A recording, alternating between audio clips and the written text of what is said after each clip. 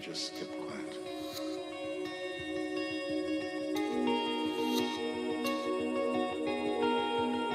In a state of self awareness.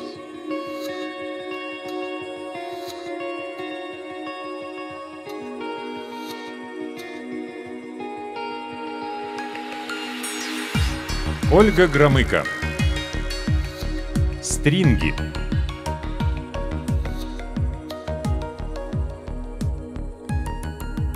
Совещание в учительской тянулось уже третий час и надоело как его участникам, так и ожидающему под дверью народу, королевскому гонцу с каким-то не шибко срочным, но важным донесением, Алмиту, забывшему в учительской пачку непроверенных свитков с контрольными, но стесняющемуся прерывать начальство, и троим адептам, пришедшим униженно молить о пересдаче коллоквиума. Последние страдали от вынужденного безделья меньше всего, вместо повторения материала играя в карты на единственный на троих конспект лекций, и тот чужой.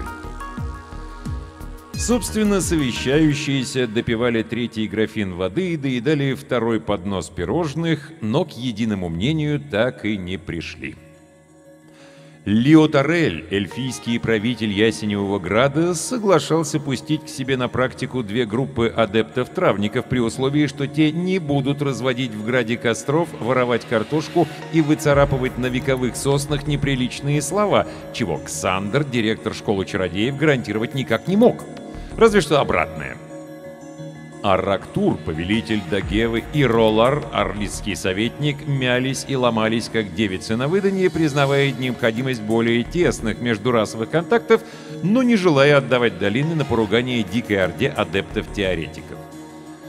Вал как раз охотно соглашался курировать группу практиков, но тут уже Ксандр требовал от него расписки, что столько, сколько с троллем адептов на тракту идет, столько и вернется, причем научившихся не только пить, бегать по бабам и виртуозно ругаться. К тому же с некоторых пор собеседников то и дело отвлекали какие-то странные вопли, доносившиеся из коридора. «Вал, ты ближе всех сидишь, будь добр, глянь, что там происходит!» В конце концов не выдержал Ксандр. И надо завуча позвать, пусть разберется с этими крикунами. Тролль заткнул горлышко фляги, который прикладывался куда чаще, чем к стакану с водой, в развалочку подошел к двери и, не скупясь, распахнул ее во всю ширь. Звать никого не пришлось.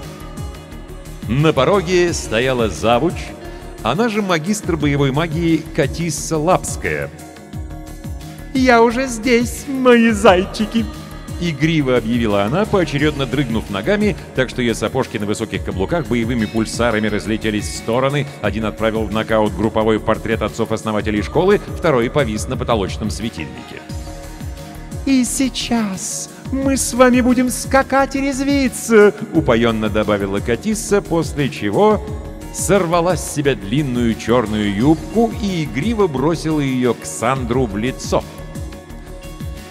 Пока Архимаг ошалел из он и выпутывался, остальные в ужасе созерцали Катиссины стринги омерзительного оранжевого цвета в фиолетовый горошек. «Госпожа Лапская, потрудитесь объясниться!»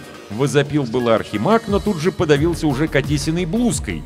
Остальные одной рукой придерживали отпадающие челюсти, а второй — вылезающие глаза — Катиса всегда покупала нижнее белье комплектами, однако сегодня либо и перепутала, либо так оно и было задумано, и к ее груди лепились на тонких шнурках два мухомора, учитывая размер шляпок корей мухоморчиков, а между ними переливалась серебром друидская татуировка, изображавшая лысого качка с добрыми-предобрыми глазами. «Ни хера себе!» — выдохнул Вал. «А дальше слабо?» Катиса игриво подмигнула и сорвала парик. «Мама!» — сказал тролль и захлопнул дверь, на которую тут же налегли вампиры, Оксандр начал торопливо чаровать. Лео Торель с присущей эльфам надменностью взирал на возведение баррикады со стороны, нервно пощипывая последнее лежащее на блюде пирожное. «Выходите, шалунишки!» — томно взвизгнула Катисса. Из-под двери плеснуло синим светом, а от косяка по стенам с хрустом пошли трещины. «Имрюк», — прокомментировал Вал. Катисса демонически расхохоталась. В щель под дверью проскользнули пятнистые стринги и как живые начали карабкаться по роллеровой штанине. Вампир с воплем их сорвал и затоптал ногами. А давайте к ней выйдет кто-нибудь один ради спасения остальных. Робко предложил Арактур. «Вот ты выходи!» — хором согласились остальные. «Да вы чего?» — охрел повелитель. «Меня дома жена убьет!» «Мальчики, тук-тук!» — настаивала чародейка. «Неужели вы не хотите посмотреть на стройную и красивую меня? А то и без посмотреть. Какую вечеринку мы с вами устроим!» «А если не выйдешь, Катиса убьет тебя прямо сейчас», — резонно возразил Лорр. «Не бойся, иди. А Вольхе мы ничего не скажем». «Ага, я твою ничего. Так начнешь хихикать и подмигивать, что жена вообразит, будто никакой Катисы не было, а я тут...» с...» Арактур выразительно посмотрел на Оксандра, и тот, побледнев, понял, что сошедшая с ума коллега — не худший вариант. Лео Торель, напротив, порозовел, откашлялся и, глядя в пол и немножко на роллера, предложил «А давайте мы скажем, что у нас здесь и так группа... вечеринка, но только для мальчиков». На этот раз побледнел роллер. «Вы не знаете мою Катиссу», — уныло сказал Архимаг, латая шатающиеся дверь очередным заклинанием. «Эта законченная феминистка немедленно потребует, чтобы ее уравняли с нами в правах. Вал, а давай мы тебя того!» «Чего?» Вал затравленно попятился к окну, нащупывая рукоять меча. «Наймем, в смысле?» — торопливо уточнил Ксандр. «Сколько?» — заинтересовался тролль, опуская руку. Люди, вампиры и эльф порылись по карманам и выложили на стол 7 кладней, 5 кипок и 20 менок. Вал презрительно сморщил нос. «Вы чего, за последнего мгмыра меня держите? Хотя... Слышу, пырь, извилину свою единственную дашь?» «Да за золотой обруч с изумрудом я сам к ней выйду!» — опрометчиво возмутился Арактур. «Иди!» — радостно подхватили остальные.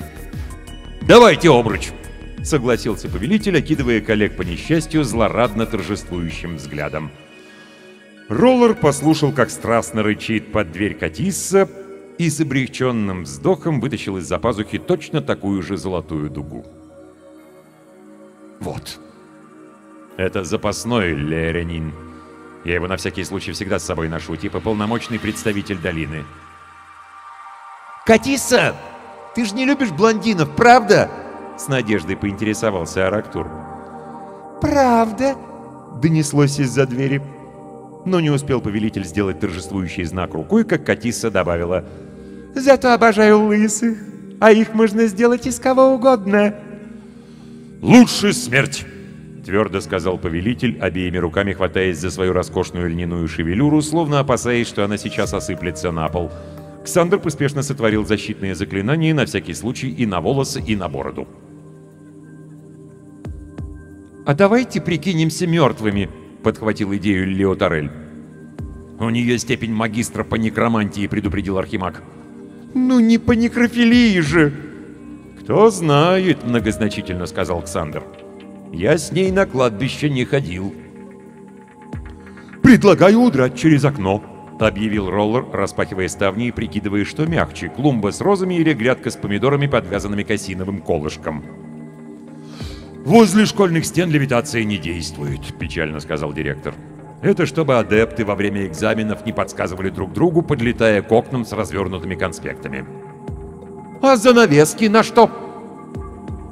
Объекты Катиссиного вожделения переглянулись, досадуя, что эта светлая идея не пришла им в головы раньше.